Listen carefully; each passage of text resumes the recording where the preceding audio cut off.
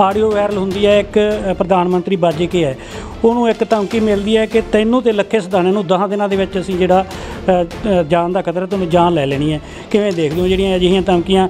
ਅੱਜ ਇੱਕ ਇਹ ਵੀ ਸਾਹਮਣੇ ਆ ਰਹੀ ਹੈ ਇੱਕ ਲੁਧਿਆਣੇ ਦਾ ਕਾਰੋਬਾਰੀ ਹੈ ਉਹਨੂੰ ਵੀ ਜਿਹੜੀਆਂ ਧਮਕੀਆਂ ਮਿਲ ਰਹੀਆਂ ਨੌਜਵਾਨ ਨੂੰ ਵੱਢ ਕੇ ਮਾਰ ਦਿੱਤਾ ਜਾਂਦਾ ਹੈ। ਕਿਰਪਾਨਾਂ ਦੇ ਨਾਲ ਸ਼ਰੇਆਮ ਦਿਨ ਦਿਹਾੜੇ ਕਤਲ ਹੋ ਰਹੇ ਨੇ। ਇਹ ਤੋਂ ਇਲਾਵਾ ਆਪਾਂ ਹੋਰ ਵੀ ਮਾਹੌਲ ਲੁਧਿਆਣੇ ਦੇ ਵਿੱਚ ਬੱਸ ਵਾਲਾ ਕਾਂਡ ਵਾਪਰਦਾ ਜਾਂ ਲੁਧਿਆਣੇ ਦੇ ਵਿੱਚ ਤੁਸੀਂ ਦੱਸ ਰਹੇ ਹੋ ਕਿ ਵਪਾਰੀਆਂ ਨੂੰ ਫੋਨ ਆ ਰਹੇ ਨੇ। ਜਾਂ ਰੋਜ਼ ਜਿਹੜਾ ਹਾਲਾਤ ਬਣੇ ਹੋਏ ਨੇ, ਤਾਂ ਇੱਥੋਂ ਦੀ ਇੰਟੈਲੀਜੈਂਸੀ ਹੈ ਜਿਹੜੀ, ਇੱਥੋਂ ਦੀ ਸੀਆਈਡੀ ਹੈ ਜਿਹੜੀ, ਉਹ ਕਿੱਥੇ ਬੈਠੀ ਸਰਕਾਰ ਨੂੰ ਕਿਸ ਤਰੀਕੇ ਦੇ ਨਾਲ ਉਹਨਾਂ ਨੂੰ ਸਿਕਿਉਰਿਟੀ ਦੇਣੀ ਚਾਹੀਦੀ ਹੈ? ਜਿਵੇਂ ਹੁਣ ਤੁਹਾਨੂੰ ਵੀ ਧਮਕੀ ਮਿਲੀ ਜਾਂ ਹੋਰ ਮਿਲਦੀਆਂ ਇਹ ਮਿਲ ਸਿਕਿਉਰਿਟੀ ਦੇਣੀ ਚਾਹੀਦੀ ਹੈ ਜਾਂ ਜਿਹੜੀ ਲੋਕਾਂ ਨੂੰ ਖੁਦ ਆਪਦੇ ਤੌਰ ਤੇ ਜਿਹੜੀ ਆਪਦੀ ਜਾਨ ਦੀ ਰੱਖਿਆ ਕਰਨੀ ਚਾਹੀਦੀ ਤੱਕ ਮੂਸੇ ਵਾਲੇ ਦੀ ਗੱਲ ਹੈ ਸਿੱਧੂ ਗਾਇਕ ਦੀ ਗੱਲ ਹੈ। ਤਾਂ ਉਹਨੂੰ ਲਗਾਤਾਰ ਇੰਟੈਲੀਜੈਂਸੀ ਨੇ ਵੀ ਉਹਦੀਆਂ ਰਿਪੋਰਟਾਂ ਦਿੱਤੀਆਂ ਸੀਗੀਆਂ। ਤਾਂ ਉਹਦੇ ਵਿੱਚ ਉਹਨੂੰ ਖਤਰਾ ਸੀਗਾ ਉਹਦੀ ਜਾਨ ਨੂੰ ਖਤਰਾ।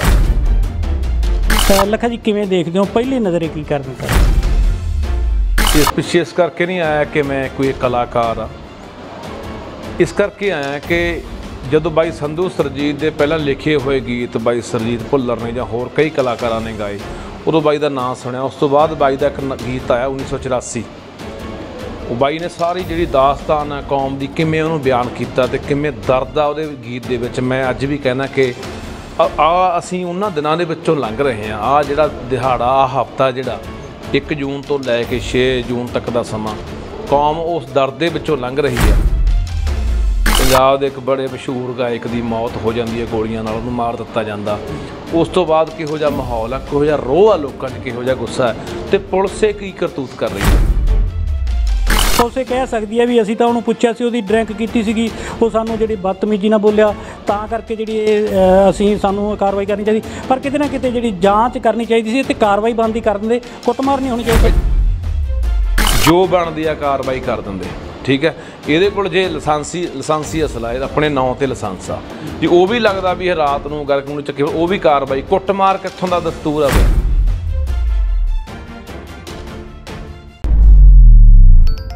ਤਾਂ ਫਰੀਦਕੋਟ ਤੋਂ ਇੱਕ ਕਲਾਕਾਰ ਨੇ ਸੰਧੂ ਸਰਜੀਤ, ਉਸਨੇ ਆਰੋਪ ਲਾਇਆ ਕਿ ਉਸ ਤੇ ਜਿਹੜਾ ਪੁਲਿਸ ਵੱਲੋਂ ਹਮਲਾ ਕੀਤਾ ਗਿਆ ਤਾਂ ਹੁਣ ਉਹ ਗੱਲ ਕਰੀਏ ਤਾਂ ਗੁਰੂ ਗੋਬਿੰਦ ਸਿੰਘ ਮੈਡੀਕਲ ਹਸਪਤਾਲ ਦੇ ਵਿੱਚ ਐਡਮਿਟ ਹੈ।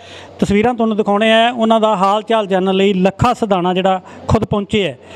ਕਾਰਨ ਕੀ ਹੈ? ਉਹ ਖੁਦ ਦੱਸਣਗੇ ਤੇ ਲਗਾਤਾਰ ਜਿਹੜੇ ਪਿੰਡਾਂ ਦੇ ਪੰਚ, ਸਰਪੰਚ ਜਿਹੜੇ ਹੈਗੇ ਆ ਤੇ ਮਹਾਨ ਜਿਹੜੇ ਲੋਕ ਹੈ ਇੱਥੇ, ਉਸ ਦਾ ਹਾਲ ਚਾਲ ਜਾਣਨ ਜਿਹੜਾ ਪਹੁੰਚਿਆ ਹੈ। ਲੱਖਾ ਨਾਲ ਗੱਲਬਾਤ ਕਰਦੇ ਆ ਲੱਖਾ ਜੀ, ਕਿਵੇਂ ਦੇਖਦੇ ਹੋ? ਪਹਿਲੀ ਨਜ਼ਰੇ ਕੀ ਕਰਦੇ ਸਾਰਾ ਪਹਿਲੀ ਗੱਲ ਤਾਂ ਬਾਈ ਮੈਂ ਦੱਸ ਦੇਣਾ ਚਾਹੁੰਦਾ ਕਿ ਮੈਂ ਇਸ ਇਨਸਾਨ ਪਿੱਛੇ ਕਿਉਂ ਆਇਆ? ਇਸ ਪਿੱਛੇ ਇਸ ਕਰਕੇ ਨਹੀਂ ਆਇਆ ਕਿ ਮੈਂ ਕੋਈ ਕਲਾਕਾਰ ਆ।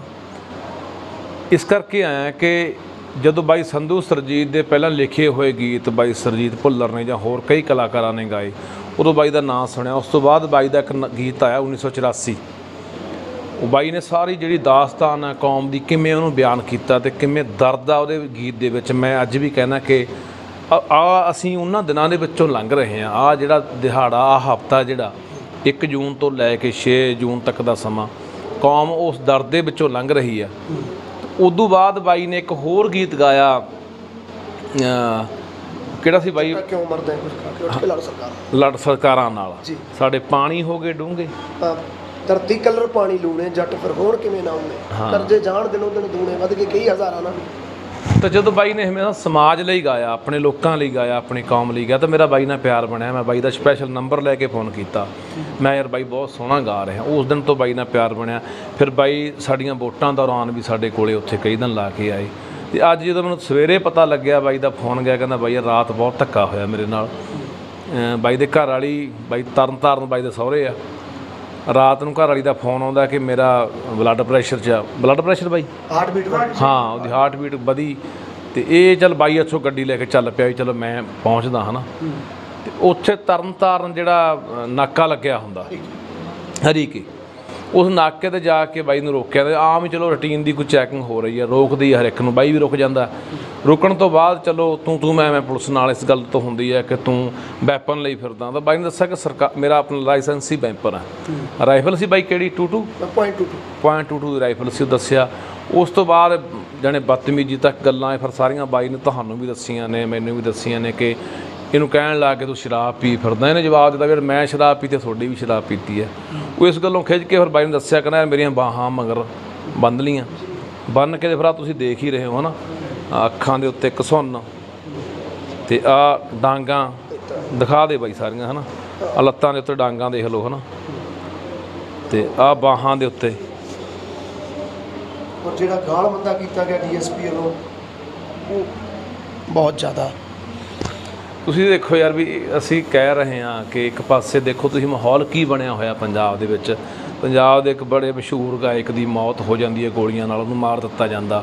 ਉਸ ਤੋਂ ਬਾਅਦ ਕਿਹੋ ਜਿਹਾ ਮਾਹੌਲ ਆ, ਕਿਹੋ ਜਿਹਾ ਰੋਹ ਆ ਲੋਕਾਂ 'ਚ, ਕਿਹੋ ਜਿਹਾ ਗੁੱਸਾ ਹੈ ਤੇ ਇਹ ਕੀ ਕਰਤੂਤ ਕਰ ਰਹੀ ਆ ਇੱਥੇ ਮੈਂ ਇਹ ਪੁੱਛਣਾ ਚਾਹੁੰਦਾ ਇਸ ਸਰਕਾਰ ਨੂੰ ਪੁੱਛਣਾ ਚਾਹੁੰਦਾ ਵੀ ਤੁਹਾਡੇ ਰਾਜ ਦੇ ਵਿੱਚ ਆਮ ਬੰਦਾ ਕਿੱਥੋਂ ਸੁਰੱਖਿਅਤ ਹੋ ਜਾਊਗਾ? ਇੱਕ ਨਾਮੀ ਬੰਦਾ, ਇੱਕ ਨਾਮੀ ਗੀਤਕਾਰ, ਇੱਕ ਗਾਇਕ। ਜਿਹਨੇ ਆਪਣੀ ਪਹਿਚਾਣ ਵੀ ਦੱਸਣ ਦੀ ਲੋੜ ਨਹੀਂ ਸੀ, ਉਹਨੇ ਪਛਾਣ ਵੀ ਲਿਆ ਵੀ ਹਾਂ, ਫਲਾਨਾ। ਇਹਨੇ ਬਾਈ ਨੇ ਮੈਨੂੰ ਸੰਧੂ ਨੇ ਦੱਸਿਆ, ਕਹਿੰਦਾ ਇੱਕ ਉੱਥੇ ਮੁਲਾਜ਼ਮ ਕਹਿੰਦਾ ਰਿਹਾ ਸੀ, ਬਾਈ ਮੈਂ ਤੇਰਾ ਫਲਾਣੇ ਥਾਂ ਮੋਗੇ, ਪ੍ਰੋਗਰਾਮ ਦੇਖਿਆ, ਬਹੁਤ ਵਧੀਆ ਸਾਰਾ ਖਾੜਾ ਸੀਗਾ, ਹਨਾ। ਉਸ ਬੰਦੇ ਨਾਲ ਇਸ ਤਰ੍ਹਾਂ ਪੇਸ਼ ਆਉਂਦੀ ਆ ਪੁਲਿਸ, ਜਾਂ ਉਹਦੀ ਕੁੱਟਮਾਰ ਕਰਦੀ ਆ, ਫਿਰ 3 ਘੰਟੇ ਗੱਡੀ 'ਚ ਬਿਠਾ ਕੇ ਘਮਾਇਆ ਜਾਂਦਾ ਕਿ ਸਰਹਾਲੀ ਲੈ ਜਾਂਦੇ ਆ। ਤਰਨ ਤਾਰਨ ਲਿਆਉਂਦੇ ਆ ਫਿਰ ਫਿਰ ਤਰਨ ਤਾਰਨ ਲਿਆਉਂਦੇ ਆ, ਬਾਈ ਕਹਿੰਦਾ ਚਲੋ ਹਸਪਤਾਲ ਹੀ ਲੈ ਚੱਲੋ, ਉੱਥੋਂ ਨਹੀਂ ਲਿਆਉਂਦੇ। ਤਾਂ ਘਮਾ ਘਮੂ ਕੇ ਇਹਨੂੰ ਫਿਰ ਰਾਤ ਨੂੰ 12 1 ਵਜੇ ਛੱਡ ਦਿੰਦੇ ਆ। ਇੱਕ ਪਾਸੇ ਘਰ ਵਾਲੀ ਬਿਮਾਰ ਹੈ, ਉਹਦੇ ਨਾਲ ਫੋਨ ਤੇ ਲਗਾਤਾਰ ਗੱਲ ਚੱਲ ਰਹੀ ਹੈ। ਉਹਨੇ ਫਿਰ ਦੱਸਿਆ ਮੈਨੂੰ ਬਾਈ ਨੇ ਕਿ ਮੇਰੇ ਘਰ ਵਾਲੀ ਨੇ ਹੀ ਅੱਗੇ ਜ- ਸਰਜੀਤ ਭੁੱਲਰ ਨੂੰ ਫੋਨ ਕੀਤਾ। ਭੁੱਲਰ ਨੇ ਫਿਰ ਮਤਲਬ ਐਸਐਸਪੀ ਨੂੰ ਕੀਤਾ ਹੋਣਾ ਡੀਐਸਪੀ ਨੂੰ ਕੀਤਾ ਹੋਣਾ, ਫਿਰ ਛੱਡਿਆ ਗਿਆ ਬਾਈ ਨੂੰ। ਤੇ ਫਿਰ ਇੱਕ ਖਾਲੀ ਕਿਸੇ ਕਾਗਜ਼ ਦੇ ਉੱਤੇ ਦਸਖਤ ਵੀ ਕਰਾ ਲਏ ਗਏ। ਹੁਣ ਜਦੋਂ ਇਹ ਗੱਲ ਤੁਸੀਂ ਦੇਖੋ ਕਿ ਗੱਲ ਉੱਠਣੀ ਆ, ਐ ਨਹੀਂ ਪਤਾ ਪੁਲਿਸ ਦਾ ਕਿ ਇਹ ਕਹਾਣੀ ਇਹ ਬਣਾ ਦੇ ਕਿ ਜੀ ਇਹ ਸਰਕਾਰੀ ਡਿਊਟੀ 'ਚ ਵਿਘਨ ਪਾ ਰਿਹਾ ਸੀ। ਇਹਨੇ ਪੁਲਿਸ ਨਾਲ ਹੱਥੋਂ ਪਾਈ ਕੀਤੀ ਜੀ, ਇਹਨੇ ਪੁਲਿਸ ਨਾਲ ਬਦਤਮੀਜ਼ੀ ਕੀਤੀ। ਇਹੋ ਜੀ ਕਹਾਣੀ ਘੜ ਕੇ ਉਲਟਾ ਐ ਨਹੀਂ ਪਤਾ ਸੰਧੂ ਸਰਜੀਤ ਦੇ ਉੱਤੇ ਪਰਚਾ ਦਰਜ ਕਰ ਦਿੱਤਾ ਜਾਵੇ। ਸੋ ਇਹ ਇਹ ਮਾਹੌਲ ਹੈ ਇਸ ਪੰਜਾਬ ਦੇ ਅੰਦਰ, ਜਿਹੜਾ ਲਗਾਤਾਰ ਲੋਕ ਰੌਲਾ ਪਾ ਰਹੇ ਆ ਕਿ ਯਾਰ ਤੁਸੀਂ ਲੱਖਾ ਜੀ ਮੈਂ ਇਹੀ ਤੁਹਾਨੂੰ ਸਵਾਲ ਕਰਨਾ ਸੀਗਾ ਜਿਵੇਂ ਮੰਨ ਲਓ ਵੀ ਕਹਿੰਦੇ ਹੁੰਦੇ ਆ ਕਿ ਤਾੜੀ ਦੋਹਾਂ ਹੱਥਾਂ ਨਾਲ ਵੱਜਦੀ ਹੈ ਇੱਕ ਹੱਥ ਨਾਲ ਤਾੜੀ ਨਹੀਂ ਵੱਜਦੀ ਕਿਤੇ ਨਾ ਕਿਤੇ ਜਿਵੇਂ ਹੁਣ ਤੁਸੀਂ ਦੱਸਿਆ ਪੁਲਿਸ ਜੀ ਆਪਦੀ ਜਾਂਚ ਹੁੰਦੀ ਪੁਲਿਸ ਦੀ ਪੁਲਿਸ ਇਹ ਕਹਿ ਸਕਦੀ ਹੈ ਵੀ ਅਸੀਂ ਤਾਂ ਉਹਨੂੰ ਪੁੱਛਿਆ ਸੀ ਉਹਦੀ ਡਰਿੰਕ ਕੀਤੀ ਸੀਗੀ ਉਹ ਸਾਨੂੰ ਜਿਹੜੀ ਬਦਤਮੀਜ਼ੀ ਨਾਲ ਬੋਲਿਆ ਤਾਂ ਕਰਕੇ ਜਿਹੜੀ ਇਹ ਅਸੀਂ ਸਾਨੂੰ ਕਾਰਵਾਈ ਕਰਨੀ ਚਾਹੀਦੀ ਪਰ ਕਿਤੇ ਨਾ ਕਿਤੇ ਜਿਹੜੀ ਜਾਂਚ ਕਰਨੀ ਚਾਹੀਦੀ ਸੀ ਤੇ ਕਾਰਵਾਈ ਬੰਦੀ ਕਰਨ ਦੇ ਕੁੱਟਮਾਰ ਨਹੀਂ ਹੋਣੀ ਚਾਹੀਦੀ ਭਾਈ ਉਹੀ ਕਹਿਣਾ ਮੰਨ ਲਓ दारू ਪੀਤੀ ਹੈ ਇਹਦਾ ਜਾ ਕੇ ਮਲਾਇਆ ਕਰਾ ਦਿੰਦੇ ਜੋ ਬਣਦੀ ਆ ਕਾਰਵਾਈ ਕਰ ਦਿੰਦੇ। ਠੀਕ ਹੈ? ਇਹਦੇ ਕੋਲ ਜੇ ਲਾਇਸੈਂਸੀ ਲਾਇਸੈਂਸੀ ਅਸਲਾ ਹੈ ਆਪਣੇ ਨਾਂ ਤੇ ਲਾਇਸੈਂਸ ਆ। ਜੇ ਉਹ ਵੀ ਲੱਗਦਾ ਵੀ ਇਹ ਰਾਤ ਨੂੰ ਗਰਕ ਨੂੰ ਚੱਕੇ ਉਹ ਵੀ ਕਾਰਵਾਈ, ਕੁੱਟਮਾਰ ਕਿੱਥੋਂ ਦਾ ਦਸਤੂਰ ਆ ਬਾਈ? ਤੁਸੀਂ ਉਹਦੇ ਘਸੁੰਨ ਮਾਰਦੇ ਹੋ ਬਾਈ ਕਹਿੰਦਾ ਮੇਰਾ ਸਰੀ ਹੀ ਸਿਰ ਕੁੱਟਿਆ ਉੱਤੋਂ ਮੁੱਕੀਆਂ ਦੇ ਨਾਲ। ਡਾਂਗਾ ਮਾਰਦੇ ਆ। ਇਹ ਕਿਹੜਾ ਕਾਨੂੰਨ ਕਹਿੰਦਾ? ਕਿ ਤੁਸੀਂ ਇਸ ਤਰ੍ਹਾਂ ਬੰਦੇ ਨਾਲ ਪੇਸ਼ ਆਓ। ਇੱਥੇ ਲੱਗਦਾ ਵੀ ਕੋਈ ਬੰਦਾ ਸੁਰੱਖਿਅਤ ਹੈਗਾ, ਜਾਂ ਲੱਗਦਾ ਲੋਕ ਤਾਂ ਵੈਸੇ ਹੀ ਲੋਕਾਂ ਦਾ ਤਰਾਹ ਨਿਕਲਿਆ ਪਿਆ, ਦੋ ਤਿੰਨ ਘਟਨਾਵਾਂ ਇਹੋ ਜਿਹੀਆਂ ਹੋ ਗਈਆਂ ਪੰਜਾਬ ਦੇ ਵਿੱਚ। ਕੋਈ ਕੋਈ ਬੰਦਾ ਰਾਤ ਨੂੰ ਬਾਹਰ ਜਾਣੇ ਸੋਚੂਗਾ ਵੀ। ਬੰਦੇ ਦੀ ਮਜਬੂਰੀ ਬਣਦੀ ਹੈ। ਇਹ ਫਰੀਦਕੋਟੋਂ ਚੱਲ ਕੇ ਤਰਨ ਤਾਰਨ ਕਿਉਂ ਗਿਆ? ਮੌਕੇ ਨੇ ਦੇਖਿਆ ਵੀ ਘਰ ਵਾਲੇ ਦੀ ਹਾਲਾਤ ਪਹਿਲਾਂ ਵੀ ਢਿੱਲੇ ਰਹਿੰਦੇ ਆ। ਹਲ- ਮੈਂ ਕੋਈ ਜ਼ਿਆਦੇ ਨਾ ਗੱਲਬਾਤ, ਕੋਈ ਹੋਰ ਨਾ ਵਾਪਰ ਜੇ ਕੱਲ ਨੂੰ ਪਾਣਾ ਤਾਂ ਬੰਦਾ ਉੱਥੇ ਜਾਂਦਾ ਹੈ। ਤੇ ਗਾਹਾਂ ਜਾਂਦੇ ਨਾਲ ਹਾਲਾਤ ਇਹ ਵਾਪਰਦੇ ਆ। ਇੱਕ ਪਾਸੇ ਘਰ ਵਾਲੀ ਘਰੇ ਬਿਮਾਰ ਪਈ ਆ, ਪੁਲਿਸ ਆਹ ਹਾਲਾਤ ਕਰਦੀ ਹੈ ਬੰਦੇ ਦੇ। ਤਾਂ ਇੱਥੇ ਬੰਦੇ ਬਚਣਗੇ ਕਿਵੇਂ ਯਾਰ? ਮੈਂ ਅਸੀਂ ਇਹ ਮੰਗ ਕਰਦੇ ਆ ਪੰਜਾਬ ਦੀ ਸਰਕਾਰ ਤੋਂ ਪੰਜਾਬ ਦੇ ਮੁੱਖ ਮੰਤਰੀ ਭਗਵੰਤ ਸਿੰਘ ਮਾਨ ਤੋਂ ਕਿ ਇਹਦੀ ਜਾਂਚ ਹੋਣੀ ਚਾਹੀਦੀ ਹੈ। ਜਿਹੜਾ ਡੀਐਸਪੀ ਇਸ ਗੱਲ ਦਾ ਜ਼ਿੰਮੇਵਾਰ ਹੈ, ਜਿਹੜੇ ਮੌਕੇ ਤੇ ਤੇ ਮੌਜੂਦ ਜਿੰਨੇ ਵੀ ਉੱਥੇ ਸੀਗੇ ਪੁਲਿਸ ਮੁਲਾਜ਼ਮ, ਉਹ ਜ਼ਿੰਮੇਵਾਰ ਆ, ਉਹਨਾਂ ਤੇ ਬਣਦੀ ਕਾਰਵਾਈ ਹੋਣੀ ਚਾਹੀਦੀ ਹੈ। ਤੁਸੀਂ ਦੇਖੋ ਯਾਰ, ਇਹ ਇਹ ਕਿੱਥੋਂ ਦਾ ਕਾਨੂੰਨ ਹੈ? ਇਹ ਕਿਹੜਾ ਦਸਤੂਰ ਆ ਯਾਰ ਵੀ ਤੁਸੀਂ ਬੰਦੇ ਨੂੰ ਫੜ ਕੇ ਡਾਂਗਾ ਨਾਲ ਕੁੱਟੋ, ਸਿਰ ਕੁੱਟੋ, ਫਿਰ ਗੱਡੀ 'ਚ ਘਮਾਓ। ਫਿਰ ਇਹ ਦੱਸਿਆ ਮੈਨੂੰ ਬਾਈ ਸੰਧੂ ਨੇ, ਕਹਿੰਦਾ ਵਿੱਚ ਇੱਕ ਮੁਲਾਜ਼ਮ ਇਹ ਵੀ ਕਹਿ ਰਿਹਾ ਸੀ ਕਿ ਕੋਈ ਗੱਲ ਨਹੀਂ ਯਾਰ 2 ਲੱਖ ਰੁਪਈਆ ਬਾਈ। ਕਹਿੰਦਾ 2 ਲੱਖ ਰੁਪਈਆ, ਕੋਈ ਗੱਲ ਨਹੀਂ, ਕੋਈ ਤੇਰਾ ਕਰਾ ਦਿੰਦੇ ਆ ਟਕਾ। ਉਹ ਜਿਹੜਾ ਘਮਾਉਣ ਦੀ ਕਹਾਣੀ ਆ ਨਾ, ਕਿ ਬੰਦੇ ਨੂੰ ਘਮਾ ਰਹੇ ਨੇ, ਵੀ ਤਿੰਨ ਘੰਟੇ ਗੱਡੀ 'ਚ ਬਿਠਾਏ ਘਮਾ ਰਹੇ ਹੋ ਸਾਰਾ ਕੁਝ ਦੇ ਦੂ ਕੇ ਚਲ ਖੜਾ ਛੱਡ ਦਿਆਂਗੇ ਇਹਦਾ ਕਿ ਇਹ ਹੁਣ ਪੁਲਿਸ ਨੇ ਆਪਦੇ ਕੋਲੋਂ ਕਹਾਣੀ ਦੇਖੋ ਕਿਵੇਂ ਬਣਾਉਣੀ ਹੈ, ਕਿਵੇਂ ਇੱਕ ਫਿਲਮੀ ਕਹਾਣੀ ਬਣਾਉਣਗੇ। ਕਿਵੇਂ ਉਹ ਪਾਤਰ ਘੜਨਗੇ? ਕਿ ਇਹ ਆਇਆ ਜੀ, ਇਹਨੇ ਪੁਲਿਸ ਦੇ ਗਲ ਪੈ, ਕਿਹੜਾ? ਮੈਂ ਪੁਲਿਸ ਤੋਂ ਤਾਂ ਅਗਲਾ ਪਾਸਾ ਵੱਟ ਕੇ ਲੰਘ ਜਾਂਦਾ। ਦੂਰੋਂ ਕੋਈ ਗੱਡੀ ਆਉਂਦੀ ਦਿਖ ਜੇ ਪੁਲਿਸ ਦੀ ਜਾਂ ਚਾਰ ਮੁਲਾਜ਼ਮ ਦਿਖਣ ਵਾਲਾ ਪਾਸਾ ਵੱਟ ਲੈਂਦਾ ਵੀ ਐਵੇਂ ਯਾਰ ਗਲ ਪੈਣਗੇ। ਤੇ ਐਡਾ ਕਿਹੜਾ ਮੂਰਖ ਹੈ ਕਿ ਸਮਝਦਾਰ ਬੰਦਾ ਯਾਰ। ਉਹ ਬੰਦਾ ਜਾ ਕੇ ਪੁਲਿਸ ਦੇ ਵਿੱਚ ਵੱਜੂਗਾ। ਜਾਂ ਪੁਲਿਸ ਦੀ ਬਦਤਮੀਜ਼ੀ ਕਰੂਗਾ ਪੁਲਿਸ ਨਾਲ, ਜਾਂ ਗਾਲ ਕੱਢੂਗਾ। ਜਾਂ ਝਗੜਾ ਕਰੂਗਾ। ਉਹ ਤਾਂ ਇਹ ਇਹ ਤਾਂ ਹੁਣ ਕਹਾਣੀ ਤੁਸੀਂ, ਮੈਂ ਤੁਹਾਨੂੰ ਤਾਂ ਦੱਸੀ ਹੈ ਵੀ ਇਹ ਕਹਾਣੀ ਬਣਾਉਣੀ ਆ, ਵੀ ਸਾਡੇ ਜੀ ਗੱਲ ਪਿਆ। ਕਿਉਂਕਿ ਹੁਣ ਜਦੋਂ ਜਿਹਦਾ ਇਹ ਚੁੱਪ, ਇਹ ਮ- ਦੇਖੋ, ਜਿਹੜਾ ਬੰਦਾ ਮੈਂ ਇੱਕ, ਜਿਹੜੇ ਬੰਦੇ ਜਣਖ ਦਾ ਮਾਦਾ ਹੁੰਦਾ, ਗੈਰਤ ਜਿਉਂਦੀ ਹੁੰਦੀ ਹੈ, ਉਹੀ ਬੰਦੇ ਆਪਦੀ ਕੌਮ ਨੂੰ ਸਮਰਪਿਤ, ਆਪਦੇ ਲੋਕਾਂ ਨੂੰ ਸਮਰਪਿਤ ਆਰੇ ਸਮਾਜ ਨੂੰ ਸਮਰਪਿਤ, ਜਾਂ ਉਹੇ ਜਿਹੇ ਗੀਤ ਜਿਹੜੀਆਂ ਹਕੂਮਤਾਂ ਦੀਆਂ ਨਜ਼ਰਾਂ 'ਚ ਰੜਕਦੇ ਹੋਣ, ਉਹੀ ਗਾਉਂਦੇ ਨੇ। ਤੇ ਉਹ ਬੰਦਾ ਫਿਰ ਇੰਨੀ ਬੇਇੱਜ਼ਤੀ ਬਰਦਾਸ਼ਤ ਵੀ ਨਹੀਂ ਕਰਦਾ ਹੁੰਦਾ। ਇਹ ਬਾਈ ਨੇ ਵੀ ਤੈਨੂੰ ਦੱਸਿਆ, ਕਹਿੰਦਾ, ਬਾਈ, ਮੈਂ ਮੁੱਕਰਦਾ ਨਹੀਂ ਇਸ ਗੱਲੋਂ, ਵੀ ਜਦੋਂ ਉਹਨੇ ਮੇਰਾ ਸਿਰ ਕੁੱਟਣ ਲੱਗ ਕੇ ਬਾਹਾਂ ਪਿੱਛੇ ਬੰਨ ਕੇ ਡਾਂਗਾ ਮਾਰ ਕੇ ਮੈਂ ਗਾਲਾਂ ਵੀ ਕੱਢੀਆਂ। ਉਹਦਾ ਕੋਈ ਵੀ ਬੰਦਾ, ਜਿਹੜਾ ਬੰਦਾ ਬਾਈ ਮਾੜੀ ਮੋਟੀ ਅਣਖ ਰੱਖਦਾ, ਉਹ ਬੰਦਾ ਬਰਦਾਸ਼ਤ ਤਾਂ ਕਰਦਾ ਨਹੀਂ। ਬਿਨਾਂ ਗੱਲ ਤੋਂ ਬੰਦੇ ਨੂੰ ਕੁੱਟਣ ਲੱਗ ਗਏ। ਲਖਾ ਜੀ, ਕਿਵੇਂ ਤੁਸੀਂ ਪੰਜਾਬ ਦੇ ਮਾਹੌਲ ਨੂੰ ਕਿਵੇਂ ਦੇਖਦੇ ਹੋ? ਪਿਛਲੇ ਦਿਨੀ ਇੱਕ ਆਡੀਓ ਵਾਇਰਲ ਹੁੰਦੀ ਹੈ, ਇੱਕ ਪ੍ਰਧਾਨ ਮੰਤਰੀ ਬਾਜੇ ਕੇ ਹੈ। ਉਹਨੂੰ ਇੱਕ ਧਮਕੀ ਮਿਲਦੀ ਹੈ ਕਿ ਤੈਨੂੰ ਤੇ ਲੱਖੇ ਸਦਾਣੇ ਨੂੰ 10 ਦਿਨਾਂ ਦੇ ਵਿੱਚ ਅਸੀਂ ਜਿਹੜਾ ਅ, ਜਾਨ ਦਾ ਖਤਰਾ ਤੁਹਾਨੂੰ ਜਾਨ ਲੈ ਲੈਣੀ ਹੈ। ਕਿਵੇਂ ਦੇਖਦੇ ਹੋ ਜਿਹੜੀਆਂ ਅਜਿਹੀਆਂ ਧਮਕੀਆਂ? ਅੱਜ ਇੱਕ ਇਹ ਵੀ ਸਾਹਮਣੇ ਆ ਰਹੀ ਹੈ ਇੱਕ ਲੁਧਿਆਣੇ ਦਾ ਕਾਰੋਬਾਰੀ ਹੈ ਉਹਨੂੰ ਵੀ ਜਿਹੜੀਆਂ ਧਮਕੀਆਂ ਮਿਲ ਰਹੀਆਂ। ਦੇਖੋ ਬਾਈ ਜਿਹੜੀ ਬਾਜੇ ਕੇ ਨਾਲ ਕੋਈ ਗੱਲਬਾਤ ਉਹ ਮੈਨੂੰ ਤਾਂ ਨਹੀਂ ਪਤਾ ਉਸ ਗੱਲ ਦਾ। ਖੈਰ ਉਹਦਾ ਮੈਨੂੰ ਫੋਨ ਆਇਆ ਸੀ ਕਿ ਮੈਨੂੰ ਫੋਨ ਆਇਆ। ਉਹਨੂੰ ਡਰਾਉਂਦਾ ਹੋਵੇ। ਮੈਨੂੰ ਹਾਲੇ ਤੱਕ ਕਿਸੇ ਇਸ ਤਰ੍ਹਾਂ ਦਾ ਕੋਈ ਫੋਨ ਨਹੀਂ ਆਇਆ ਵੀ ਅਸੀਂ ਤੈਨੂੰ ਮਾਰ ਦੇਣਾ ਜਾਂ ਕੁਝ ਹੋਰ ਗੱਲਬਾਤ। ਤੋ ਉਹ ਤਾਂ ਵੱਜ ਕੇ ਦੱਸ ਸਕਦਾ ਕਿ ਕੀ ਕਹਾਣੀ ਹੈ ਬਾਕੀ ਮਾਹੌਲ ਦੀ ਤੁਸੀਂ ਗੱਲ ਕੀਤੀ ਆ ਤੇ ਮਾਹੌਲ ਜਿਹੜਾ ਹੈਗਾ ਉਹ ਆਪਾਂ ਦੇਖ ਹੀ ਰਹੇ ਹਾਂ। ਬੱਦਨੀ ਦੇ ਵਿੱਚ ਵੀ ਇੱਕ ਨੌਜਵਾਨ ਨੂੰ ਵੱਢ ਕੇ ਮਾਰ ਦਿੱਤਾ ਜਾਂਦਾ ਹੈ। ਕਿਰਪਾਨਾਂ ਦੇ ਨਾਲ ਸ਼ਰੇਆਮ ਦਿਨ ਦਿਹਾੜੇ ਕਤਲ ਹੋ ਰਹੇ ਨੇ। ਇਹ ਤੋਂ ਇਲਾਵਾ ਆਪਾਂ ਹੋਰ ਵੀ ਮਾਹੌਲ ਲੁਧਿਆਣੇ ਦੇ ਵਿੱਚ ਬੱਸ ਵਾਲਾ ਕਾਂਡ ਵਾਪਰਦਾ ਜਾਂ ਲੁਧਿਆਣੇ ਦੇ ਵਿੱਚ ਤੁਸੀਂ ਦੱਸ ਰਹੇ ਹੋ ਕਿ ਵਪਾਰੀਆਂ ਨੂੰ ਫੋਨ ਆ ਰਹੇ ਨੇ। ਜਾਂ ਰੋਜ਼ ਜਿਹੜਾ ਹਾਲਾਤ ਬਣੇ ਹੋਏ ਨੇ, ਤਾਂ ਇੱਥੋਂ ਦੀ ਇੰਟੈਲੀਜੈਂਸੀ ਹੈ ਜਿਹੜੀ, ਇੱਥੋਂ ਦੀ ਸੀਆਈਡੀ ਹੈ ਜਿਹੜੀ, ਉਹ ਕਿੱਥੇ ਬੈਠੀ ਹੈ? ਆਪਾਂ ਹੁਣ ਸਿੱਧੂ ਮੂਸੇਵਾਲੇ ਦੀ ਵੀ ਆਪਾਂ ਗੱਲ ਕਰਦੇ ਹਾਂ ਕਿ ਏਕੇ 94 ਜਿਹਨੂੰ ਏਨ 94 ਆਪਾਂ ਕਹਿੰਦੇ ਆ, ਉਹ ਵੈਪਨ ਜਿਹੜਾ ਪੂਰੇ ਪੰਜਾਬ 'ਚ ਨਹੀਂ ਹੋਣਾ, ਉਹਨਾਂ ਬੰਦਿਆਂ ਕੋਲ ਉਹ ਕਿਵੇਂ ਕੈਰੀ ਕਰਦਾ, ਕਿਵੇਂ ਉੱਥੋਂ ਤੱਕ ਪਹੁੰਚਦਾ ਹੈ? ਉਹ ਇਸ ਬ- ਬੜਾ ਵੱਡਾ ਸਵਾਲ ਹੈ ਇੱਥੋਂ ਦੇ ਪ੍ਰਸ਼ਾਸਨ ਤੇ, ਇੱਥੋਂ ਦੀ ਇੰਟੈਲੀਜੈਂਸੀ ਤੇ, ਸਰਕਾਰ ਦੇ ਉੱਤੇ ਕਿ ਸਰਕਾਰਾਂ ਕੀ ਕਰ ਰਹੀਆਂ? ਕੱਲਾ ਕੱਲਾ ਮਰਨ ਤੋਂ ਬਾਅਦ, ਉਦੋਂ ਬਾਅਦ ਰੋਟੀਆਂ ਸੇਕਣੀਆਂ ਹੁੰਦੀਆਂ, ਡਰਾਮੇ ਕਰਨੇ ਹੁੰਦੇ, ਜਿਵੇਂ ਹੁਣ ਹੋ ਰਿਹਾ ਸਿੱਧੂ ਮੂਸੇਵਾਲੇ ਦੀ ਮੌਤ ਤੇ ਵੀ ਇਹੀ ਹੋ- ਆਪਾਂ ਦੇਖਦੇ ਹਾਂ, ਹੋ ਰਿਹਾ। ਲਗਾਤਾਰ ਸਾਰੀਆਂ ਸਿਆਸੀ ਪਾਰਟੀਆਂ ਆਪੋ ਆਪਣੇ ਢੰਗ ਨਾਲ ਉਹਦੇ ਆਪੋ ਆਪਣਾ ਸਿਰਫ ਸਿਆਸਤ ਚਮਕਾਉਣ ਤੇ ਲੱਗੀਆਂ ਹੋਈਆਂ। ਕਿਵੇਂ ਦੇਖਦੇ ਕਿਵੇਂ ਹੈ ਕਿਉਂਕਿ ਜਿਹੜੇ ਲੋਕ ਨਿਸ਼ਾਨੇ ਤੇ ਆ ਜਿਵੇਂ ਸਿੱਧੂ ਮੂਸੇਵਾਲੇ ਦੀ ਗੱਲ ਕਰ ਲਈਏ ਸਿਕਿਉਰਿਟੀ ਦੇ ਵਿੱਚ ਕਿਤੇ ਨਾ ਕਿਤੇ ਦੱਸਿਆ ਜਾ ਰਿਹਾ ਕਿ ਚੂਕ ਹੋਈ ਹੈ। ਹੋਰ ਵੀ ਜਿਹੜੇ ਲੋਕ ਹੈ ਉਹਨਾਂ ਨੂੰ ਕਿਵੇਂ ਦੇਖਦੇ ਆ? ਸਰਕਾਰ ਨੂੰ ਕਿਸ ਤਰੀਕੇ ਦੇ ਨਾਲ ਉਹਨਾਂ ਨੂੰ ਸਿਕਿਉਰਿਟੀ ਦੇਣੀ ਚਾਹੀਦੀ ਹੈ? ਜਿਵੇਂ ਹੁਣ ਤੁਹਾਨੂੰ ਵੀ ਧਮਕੀ ਮਿਲੀ ਜਾਂ ਹੋਰ ਮਿਲਦੀਆਂ ਇਹ ਮਿਲ ਸਿਕਿਉਰਿਟੀ ਦੇਣੀ ਚਾਹੀਦੀ ਹੈ ਜਾਂ ਜਿਹੜੀ ਲੋਕਾਂ ਨੂੰ ਖੁਦ ਆਪਦੇ ਤੌਰ ਤੇ ਜਿਹੜੀ ਆਪਦੀ ਜਾਨ ਦੀ ਰੱਖਿਆ ਕਰਨੀ ਚਾਹੀਦੀ ਹੈ? ਦੇਖੋ ਬਾਈ ਜਿਹੜੀ ਸਿਕਿਉਰਿਟੀ ਦੀ ਆਪਾਂ ਗੱਲ ਕਰਦੇ ਹਾਂ ਇਹ ਤਾਂ ਮੈਂ ਦੇਖਦਾ ਹੁੰਦਾ ਕਿ ਹੱਥ ਵਸ ਡੋਰੀਆਂ ਪਰਮਾਤਮਾ ਦੀ ਹੁੰਦੀਆਂ ਨੇ, ਹਨਾ? ਉਹ ਮਾਰਕ ਜਿਹਨੂੰ ਰੱਖਦਾ, ਉਹਨੂੰ ਮਾਰਨ ਵਾਲਾ ਕੋਈ ਨਹੀਂ ਹੈ। ਪਰ ਫਿਰ ਵੀ ਬੰਦੇ ਨੂੰ ਚਕੰਨਾ ਆਪਦੇ ਤੌਰ ਤੇ ਵੀ ਰਹਿਣਾ ਚਾਹੀਦਾ ਤੇ ਜਿਹੜੀ ਸਿਕਿਉਰਿਟੀ ਦੀ ਆਪਾਂ ਗੱਲ ਕਰਾਂ ਜਿਹਨੂੰ ਲੋੜ ਹੈ। ਮੰਨ ਲਓ ਜਿਹਨੂੰ ਕੋਈ ਲੋੜ ਹੈ, ਕੋਈ ਲੱਗਦਾ ਕਿ ਉਹਨੂੰ ਕੋਈ ਥ੍ਰੈਟ ਆ, ਕੋਈ ਧਮਕੀ ਆ ਰਹੀ ਹੈ, ਤਾਂ ਉਹ ਜਿਹੇ ਬੰਦਿਆਂ ਨੂੰ ਦੇ ਵੀ ਦੇਣੀ ਚਾਹੀਦੇ। ਪਰ ਪੜਤਾਲ ਕਰਨ ਤੋਂ ਬਾਅਦ, ਹੁਣ ਆਪਾਂ ਪਿੱਛੇ ਜੇ ਵੀ ਦੇਖਿਆ ਕਿ ਇੱਥੇ ਜਿਹਨਾਂ ਨੇ ਸਭ ਤੋਂ ਵੱਧ ਮਾਹੌਲ ਪੰਜਾਬ ਦਾ ਖਰਾਬ ਕੀਤਾ ਹੈ ਚਾਰ ਸ਼ਬਦ ਉਹੀ ਬੋਲ ਕੇ ਸਿੱਖਾਂ ਨੂੰ ਗਾਲਾਂ ਕੱਢ ਦੇਣੀਆਂ। ਜਾਂ ਉਹ ਜੇ ਗੱਲਾਂ ਬਾਤਾਂ ਕਰਨੀਆਂ, ਜਾਂ ਆਪਦੇ ਉੱਤੇ ਹਮਲਾ ਕਰਾ ਲੈਣਾ। ਉਦੋਂ ਬਾਅਦ ਇਹ ਬਣਾ ਦੇਣਾ ਕਿ ਜੀ ਮੈਨੂੰ ਉਹ 20 20 50 50 ਗਨਮੈਨ ਚੱਕੀ ਫਿਰਦੇ ਆ। ਉਹਨਾਂ ਕੋਲ ਸਰਕਾਰੀ ਗੱਡੀਆਂ ਨੇ, ਸਰਕਾਰੀ ਤੇਲ ਵੀ ਉਹਨਾਂ ਦੀਆਂ ਗੱਡੀਆਂ 'ਚ ਸਰਕਾਰ ਪਾਉਂਦੀ ਹੈ। ਉਹੋ ਜਿਹੇ ਬੰਦਿਆਂ ਨੂੰ ਤਾਂ ਫਿਰ ਉਹ ਡਰਾਮੇ ਕਰਦੇ ਨੇ। ਇੱਕ ਸਿਕਿਉਰਿਟੀ ਲੈ ਕੇ ਨਾਲ 20 20 30 ਗਨਮੈਨ ਲੈ ਕੇ ਲੋਕਾਂ ਨੇ ਦਹਿਸ਼ਤ ਦਾ ਮਾਹੌਲ ਪੈਦਾ ਕਰਦੇ ਨੇ। ਉਹੇ ਜੇ ਬੰਦਿਆਂ ਦੀ ਸਿਕਿਉਰਿਟੀ ਦੇਣ ਦੀ ਗੱਲ ਨਾ ਪੜਤਾਲ ਕਰਕੇ ਦੇਣੀ ਚਾਹੀਦੀ ਆ। ਇਹ ਨਹੀਂ ਹੈਗਾ ਇੱਥੇ ਕੱਲ ਨੂੰ ਮੇਰਾ ਉੱਠ ਕੇ ਕੋਈ ਡਰਾਮਾ ਰਚ ਕੇ ਕਹਿ ਦੇ, ਤਾਂ ਸਰਕਾਰ ਹਰ ਇੱਕ ਬੰਦੇ ਨੂੰ ਚੱਕ ਕੇ ਸਿਕਿਉਰਿਟੀ ਦੇਖੋ ਇਹ ਮੈਂ ਕਹਿੰਦਾ ਕਿ ਬਹੁਤ ਵਧੀਆ ਇੱਕ ਫੈਸਲਾ ਸੀਗਾ ਸਰਕਾਰ ਦਾ ਕਿ ਜਿਹੜੀ ਉਹੀ ਲੋਕ ਸਿਕਿਉਰਟੀਆਂ ਲਈ ਫਿਰਦੇ ਆ, ਉਹੀ 5 5 7 7 ਦਸ ਦਸ ਬੰਦੇ ਲਈ ਫਿਰਦੇ ਜਿਨ੍ਹਾਂ ਨੂੰ ਕੋਈ ਲੋੜ ਨਹੀਂ। ਉਹ ਵਾਪਸ ਹੋਣੀ ਚਾਹੀਦੀ ਸੀ। ਪਰ ਜਿੱਥੋਂ ਤੱਕ ਮੂਸੇ ਵਾਲੇ ਦੀ ਗੱਲ ਆ, ਸਿੱਧੂ ਗਾਇਕ ਦੀ ਗੱਲ ਆ, ਤਾਂ ਉਹਨੂੰ ਲਗਾਤਾਰ ਇੰਟੈਲੀਜੈਂਸੀ ਨੇ ਵੀ ਉਹਦੀਆਂ ਰਿਪੋਰਟਾਂ ਦਿੱਤੀਆਂ ਸੀਗੀਆਂ। ਤਾਂ ਉਹਦੇ ਵਿੱਚ ਉਹਨੂੰ ਖਤਰਾ ਸੀਗਾ, ਉਹਦੀ ਜਾਨ ਨੂੰ ਖਤਰਾ ਸੀ। ਉਹੋ ਜਿਹੇ ਬੰਦੇ ਦੀ ਸਿਕਿਉਰਿਟੀ ਨੂੰ ਅੱਧੀ ਸਿਕਿਉਰਿਟੀ ਉਹਦੀ ਘਟਾ ਕੇ ਤੇ ਉਹਨੂੰ ਮੀਡੀਆ ਦੇ ਵਿੱਚ ਪ੍ਰਚਾਰ ਦੇਣਾ। ਬਿਲਕੁਲ ਜਿਹੜਾ ਕੱਲੂ ਘਰੇ ਨੂੰ ਲੈ ਕੇ ਕਿਹਾ ਜਾ ਰਿਹਾ ਤੇ ਪਰ ਉਹ ਡਿਸਕਲੋਜ਼ ਨਹੀਂ ਕਰਨੀ ਚਾਹੀਦੀ ਸੀ। ਸਵਾਲ ਵੱਡਾ ਡਿਸਕਲੋਜ਼ ਦੇਖੋ ਤੁਸੀਂ ਸਿਕਿਉਰਿਟੀ ਕਿਸੇ ਦੀ ਵਾਪਸ ਲੈਣੀ ਆ।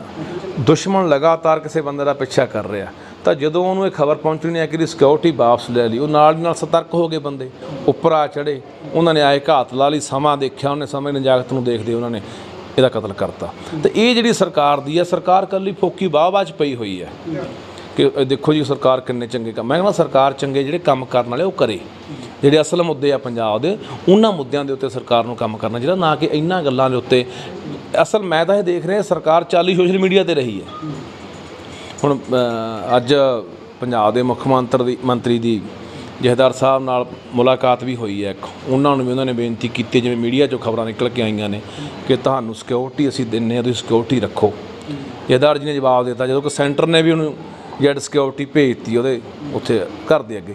ਤਾਂ ਮੈਨੂੰ ਲੱਗਦਾ ਕਿ ਇਹ ਵੀ ਦੇਖੋ, ਇਹ ਇੱਕ ਜ਼ੋਰ ਲੱਗਿਆ ਹੋਇਆ ਬਾਈ। ਬੀਜੇਪੀ ਚਾਹੁੰਦੀ ਆ ਕਿ ਕਿਵੇਂ ਕਿਸੇ ਵੀ ਤਰੀਕੇ ਦੇ ਨਾਲ ਪੰਜਾਬ ਦੇ ਵਿੱਚ ਮਾਹੌਲ ਖਰਾਬ ਕੀਤਾ ਜਾਵੇ।